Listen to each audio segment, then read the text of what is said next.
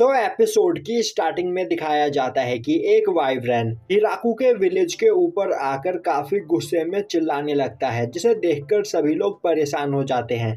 वहीं हिराकू सोच रहा होता है, अब मुझे क्या करना चाहिए? क्या मुझे इस पर अटैक करके इसे यहाँ से भगाने की कोशिश करना चाहिए? या फिर मैं इसे इग्नोर कर दूँ? क्या पता थोड़ी देर के बाद यह अपने आप ही यहाँ से चले जाए। तभी वह वाइब्रेन विलेज पर अटैक करने के लिए तैयार हो जाता है जो देखते ही। टिया और लूसी अपनी पावर को मर्ज करते हुए वहाँ पर एक सील्ड बनाती है, पर वाइब्रेन के अटैक से वह सील्ड टूट जाता है और उनके फ़ील्ड में लगे हुए फ़सलों में उस अटैक की वजह से आग लग जाता है, जो देखते ही सभी एल्फ काफ़ी तेज़ी से उस आग को बुझाने में लग जाते हैं। वहीं यह सब देखकर हिराकू काफ़ी ज़्यादा परेशान हो जाता है और सोचने लगता है कि अब मुझे क्या करना चाहिए। मैंने अगर अभी कुछ नहीं किया तो यह पूरा विलेज डिस्ट्रॉय हो जाएगा तो मुझे इस जगह पर जल्द ही कुछ ना कुछ करना होगा। तभी हिराकू का हाथ ग्लो करने लगता है और अब वह देखता है तो। उसके हाथ में एक ग्लोइंग स्पीयर होता है। अब उस स्पीयर को देखकर हिराकू को कुछ भी समझ में नहीं आता है, पर वह बिना कुछ सोचे समझे उस स्पीयर से वाइब्रेन पर अटैक कर देता है। जो देखते ही वाइब्रेन अपने सील्ड की मदद से उस अटैक को ब्लॉक करने की कोशिश करता है, पर वह स्पीयर वाइब्रेन के तीनों शील्ड को तोड़ता हुआ उसके एक पंख को डिस्ट्रॉय कर देता है। और अब वह वापस से हिराकू के हाथ में आ जाता है, तभी हिराकू दोबारा से उसका यूज़ करते हुए उस वाइब्रेन का सीना चीर देता है। जो देखकर सभी लोगों के होश उड़ जाते हैं। अब वह सभी लोग वाइब्रेन की डेड बॉडी के पास जाते हैं। अब हिराकू उस वाइब्रेन की डेड बॉडी को देखता हुआ बोलता है तो क्या इस जगह पर इसके जैसे और भी क्रिएचर्स रहते हैं? लूसी उसे बताती है कि वाइब्रेन एक रेयर क्रिएचर है और इसकी जनसंख्या यहाँ पर बहुत ही ज़्यादा कम है। इराकू बोलता है तो फिर क्या ऐसा हो सकता है कि किसी ने इसे यहाँ पर हम पर अटैक करने के लिए भेजा हो? टिया बोलती है, मुझे ऐसा नहीं लगता क्योंकि वाइब्रेंट बहुत ही ज़्यादा पावरफुल होते हैं और उसे कंट्रोल कर पाना किसी के भी बस की बात नहीं। तो यह इस जगह पर खुद ब खुद आया होगा। अब यह सुनकर हिराकू बोलता है तो इसका मतलब हमारा विलेज खतरे में नहीं है। तो मैं यहाँ पर एक और सवाल पूछना चाहता हूँ, क्या हम इसे खा सकते हैं? और अब हमें दिखाया जाता है कि हिराकू अपने किचन में वाइब्रेंट के मीट से कई सारे डिशेस बनाता है।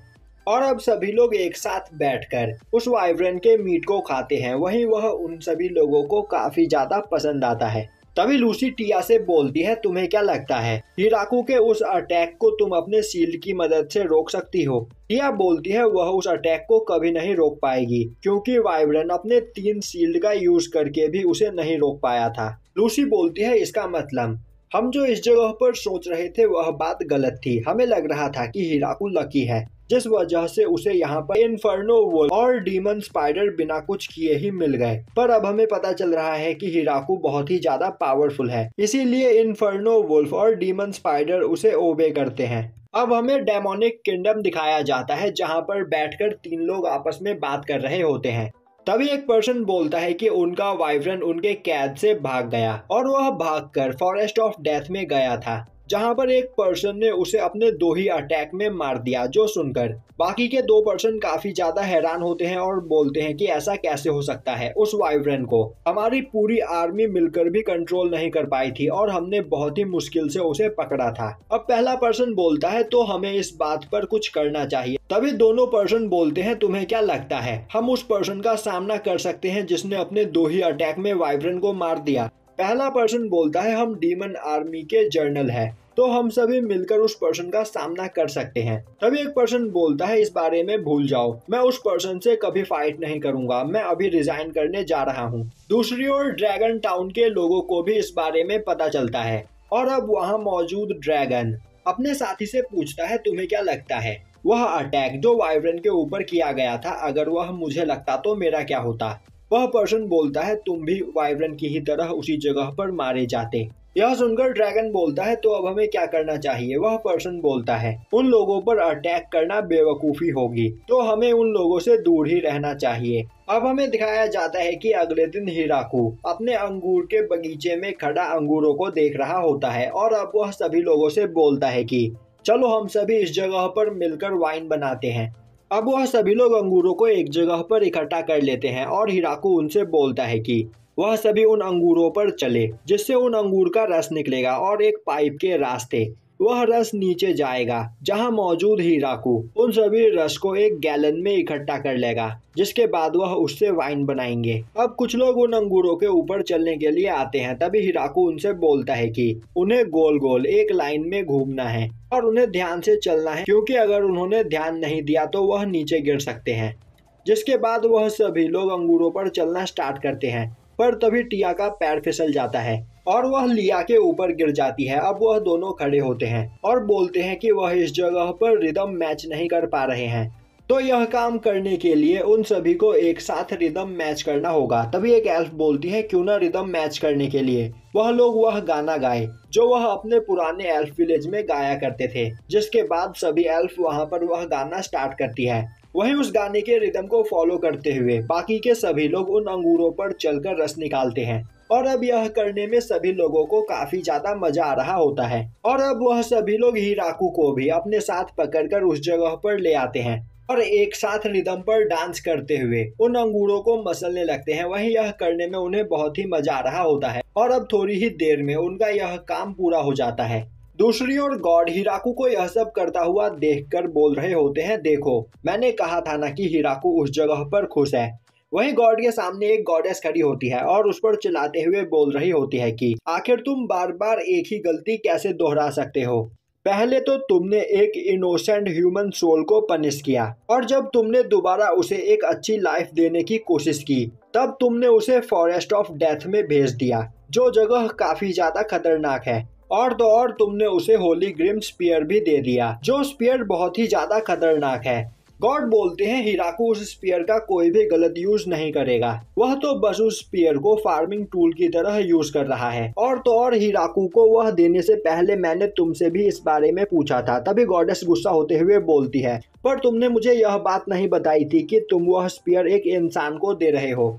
वह स्पीयर इतना खतरनाक है कि उसके एक ही अटैक से किसी भी क्रिएचर को मारा जा सकता है। और तो और गॉडेस वहाँ पर बहुत ही ज़्यादा गुस्सा होती है। क्योंकि हिराकू ने जाइंट ट्री के पास जो श्रेन बनाया हुआ होता है, उसमें गॉड की मूर्ति काफ़ी ज़्यादा अच्छी बनाई होती है। पर गॉडेस की मूर्ति एक ओल्ड मैन की होती है, जो देखकर गॉडेस को और भी ज़्यादा गुस्सा आ रहा होता है। अब हमें कुछ दिनों बाद का सीन दिखाया जाता है। जाबुटोन अपनी जगह पर बैठा कपड़े बना रहा होता है।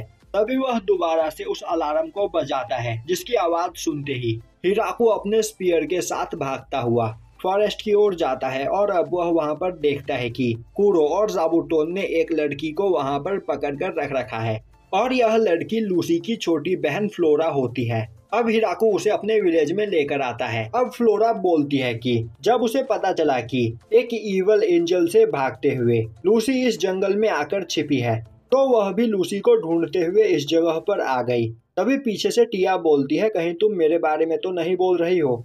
और अब फ्लोरा। टिया को उस जगह पर देखकर काफ़ी ज़्यादा डर जाती है और बोलती है कि आखिर यह यहाँ पर क्या कर रही है? अब हिराकू बोलता है, तुम्हें परेशान होने की कोई ज़रूरत नहीं। तुम जब तक चाहो इस जगह पर रह सकती हो। अब यह सुनकर फ्लोरा सोचने लगती है, उसे यकीन नहीं हो रहा कि लूसी ने इस जगह पर शादी कर ली और हिराकू उसका हस्बैंड है। और तभी वह वहाँ पर इन्फर्नो वुल्फ को देखकर काफ़ी ज़्यादा डर जाती है। अब लूसी उसे बताती है कि हिराकू इस जगह का मास्टर है और यहाँ मौजूद इन्फर्नो वुल्फ और सभी डीमन स्पाइडर को यही कंट्रोल करता है, और तो और हिराकू ने। काफ़ी आसानी से कुछ दिनों पहले ही एक वाइब्रन को भी मारा है, जो सुनते ही फ्लोरा डर जाती है और हिराकू से अपने बैड बिहेव के लिए माफ़ी मांगने लगती है। अब हिराकू कूरो को देखता हुआ बोलता है तो कूरो तुम कोई डॉग नहीं, बल्कि एक वुल्फ हो। कूरो हमें जवाब देता है। हिराकू बोलता है तो आखिर इस इन्फर्नो का क्या मतलब है? उसी वक्त कूरो अपने मुँह से आग फेंकने लगता है, जो देखकर हिराकू काफ़ी हैरान होता है। वहीं यह देखकर लूसी सोचने लगती है, हिराकू, इतने दिनों से इन सभी वुल्फ के साथ रह रहा है, पर अब तक इसे इस बारे में कुछ भी पता नहीं था। अब रात में हिराकू फ्लोरा को काफ़ी सारा खाना बनाकर खिलाता है। वहीं वह कूरो और बाकी के वुल्फ की ओर से फ्लोरा से माफ़ी माँगता है। अब इन नई चीज़ों को खाकर फ्लोरा काफ़ी ज़्यादा खुश होती है और अब हिराकू को पता चलता है कि फ्लोरा भी लूसी की ही तरह एक रिसर्चर है और अब फ्लोरा भी वहाँ पर अपने नोटबुक में उन सभी चीज़ों के बारे में लिखने लगती है। अब कुछ दिन वहाँ पर रहने के बाद फ्लोरा वहाँ से वापस अपने घर की ओर चली जाती है और एक महीने के बाद फ्लोरा वापस से उस विलेज में आती है। वहीं वह इस बार अपने साथ कई सारे मेड्स को लेकर आई हुई होती है। तभी हेडमेड आगे बढ़ते हुए हिराकू को अपना इंट्रोडक्शन देते हुए बोलती है कि उसका नाम आनी है। वहीं वह अपने साथ कुछ जानवर भी लेकर आई हुई होती है, जिन्हें देखकर हिराकू उससे पूछता है तो आखिर यह कौन से जानवर है? देखने में तो मुझे यह गाय जैसे लग रहे हैं। फ्लोरा बोलती है, तुमने बिल्कुल सही कहा, यह गाय ही है। वहीं पर दूर खड़ी टिया यह सब कुछ देख रही होती है और अब वह सोचने लगती है कि इस जगह पर बहुत ज़्यादा वैम्पायर्स है। एल्फ की भी मात्रा बहुत ही ज़्यादा है। वुल्फ के पास भी एक अपनी बड़ी फैमिली है और स्पाइडर्स के पास भी अपनी एक फैमिली है, पर वह यहाँ पर अकेली है, जिस बारे में सोचकर वह परेशान हो जाती है। और अब वह हिराकू के पास जाकर उससे, विलेज से थोड़े दिनों के लिए बाहर जाने की परमिशन मांगती है। और अब टिया विलेज से बाहर चली जाती है। अब कुछ दिनों के बाद टिया वापस लौटती है। वहीं वह इस बार अपने साथ अपने कुछ अंडरलिंक्स को लेकर आई हुई होती है, जिसमें तीन फेरीज और कई सारे लिजार्ड मैंस होते हैं। वहीं वह अपने साथ एक चिकन भी लेकर आई हुई होती है, जिसे देखकर हिराकू काफ़ी ज़्यादा खुश होता है। अब उस जगह पर मेड्स के आ जाने की वजह से घर की साफ़ सफ़ाई का काम बहुत ही ज़्यादा आसान हो चुका होता है, पर उन मेड्स को खाना बनाने की ज़्यादा नॉलेज नहीं होती है। इसीलिए हिराकू उन सभी को वहाँ पर खाना बनाना सिखाता है। वहीं टिया के तीन अंडरलिंग एंजल्स होते हैं, ग्रैंड मारिया, क्लूड और क्रोने, जिन्हें टिया विलेज के पेट्रोलिंग के काम पर लगा देती है। और अब उन तीनों के विलेज में होने की वजह से विलेज की सिक्योरिटी काफ़ी ज़्यादा बढ़ चुकी होती है। वहीं हिराकू वहाँ मौजूद सभी लिजार्ड मैन को विलेज के लेवर्स का काम देता है, क्योंकि लिजार्ड मैन काफ़ी ज़्यादा पावरफुल होते हैं और लेवर्स का काम वह काफ़ी आसानी से कर लेते हैं। वहीं सभी लिजार्ड मैन एक जैसे दिखते हैं, इसीलिए हिराकू उन सभी लिजार्ड मैन के लीडर डागा को उसके राइट हैंड पर एक स्कार्फ बांधने के लिए बोलता है, जिससे वह उसे पहचान सके। और अब वहाँ खड़ा हिराकू सोच रहा होता है कि मेरे इस विलेज की पॉपुलेशन सच में काफ़ी तेज़ी से बढ़ रही है। तभी उसके पास भागते हुए लिया आती है और उससे बोलती है कि उसे जंगल में उसके विलेज की कई और सारी एल्फ मिली है। अब हिराकू उन सभी लोगों को देखता है। वह सभी लड़कियाँ होती है जो देखकर हिराकू लिया से पूछता है आखिर इस जगह पर सभी लड़कियाँ ही क्यों हैं?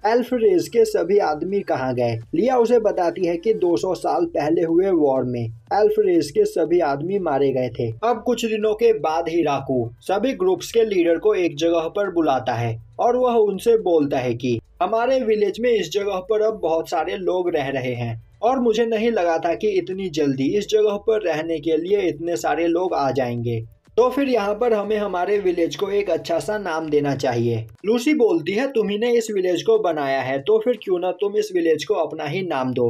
हिराकू बोलता है, इस विलेज को? हीराकू विलेज बुलाना कुछ अच्छा नहीं लगेगा। तो मैं चाहता हूँ कि हम सभी लोग मिलकर इस जगह पर विलेज के लिए एक अच्छा नाम ढूंढे। आन बोलती है तो फिर क्यों न हम इस विलेज का नाम, इस फॉरेस्ट के नाम पर ही रख दे। हिराकू बोलता है, यह एक अच्छा आइडिया है। तो आखिर इस फॉरेस्ट का क्या नाम है? आन उसे बताती है कि फॉरेस्ट ऑफ़ डेथ जो सुनकर हिराकू सोचने लगता है, उसके विलेज का नाम विलेज ऑफ़ डेथ कैसा लगेगा? तभी साबुटोन हाथ उठाता है और वह दरवाजे की ओर इशारा करता है। अब हिराकू दरवाजे के पास जाकर दरवाज़ा खोलता है तो उसे वह जाइंट ट्री दिखाई देता है। जिसे देखकर वह बहुत ही ज़्यादा खुश होता है और बोलता है कि मैंने इस विलेज की शुरुआत इस जाइंट ट्री के पास करी थी। तो फिर क्यों ना हम इस विलेज का नाम द ग्रेट ट्री विलेज रखें, जो सुनकर सभी लोगों को अच्छा लगता है। और अब सभी लोग वहाँ पर अपने विलेज के नामकरण की खुशी में पार्टी करते हैं। वहीं सभी लोग काफ़ी ज़्यादा खुश होते हैं और हिराकू द्वारा बनाए गए वाइन को पीकर सेलिब्रेट करते हैं। और अब सभी लोग एक साथ मिलकर हिराकू को विलेज का मेयर बना देते हैं। क्योंकि वही इस विलेज का फाउंडर है। और अब सभी लोग वहाँ पर एक साथ मिलकर वाइन पीते हुए सेलिब्रेट करते हैं। और यहीं पर यह एपिसोड खत्म हो जाता